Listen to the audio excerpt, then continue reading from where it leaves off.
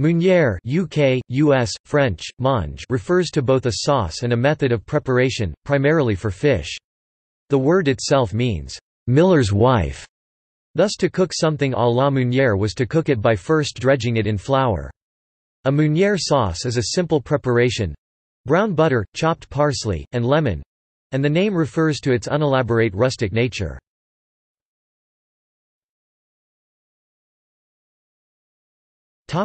Preparation There are two primary ways to prepare the fish most popularly, sole or trout. One is by sautéing, First dredging the fish in seasoned flour white flour or corn flour and then cooking in a hot sauté pan with a small amount of clarified butter. The alternative method is to pan fry or deep fry the floured fish. In pan frying, oil or a combination of oil and butter is used—up to perhaps 2 cm deep. Deep frying is done in either a large fry pot or in a standalone deep fryer. The floured fish is completely submerged in the hot oil.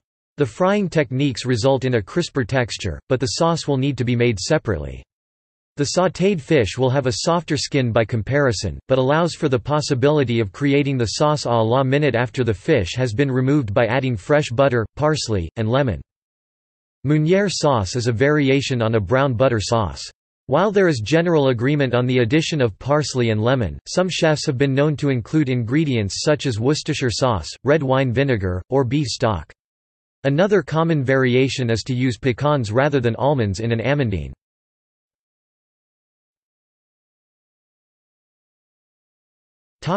Creole cuisine Trout meunière and its variation trout amandine speckled sea trout crusted in almonds, traditionally served with a meunière sauce are bedrock dishes of New Orleans Creole cuisine. The abundance of seafood from the nearby Gulf of Mexico makes the simplicity of the Meunière style appropriate. Galatoire's claims to sell more trout Meunière amandine than any other dish. Soft shell crab and redfish are also often available à la Meunière. Oysters on brochette are typically served with a Meunière sauce.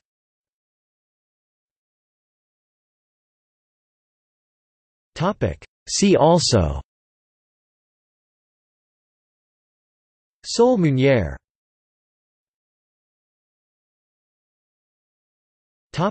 Notes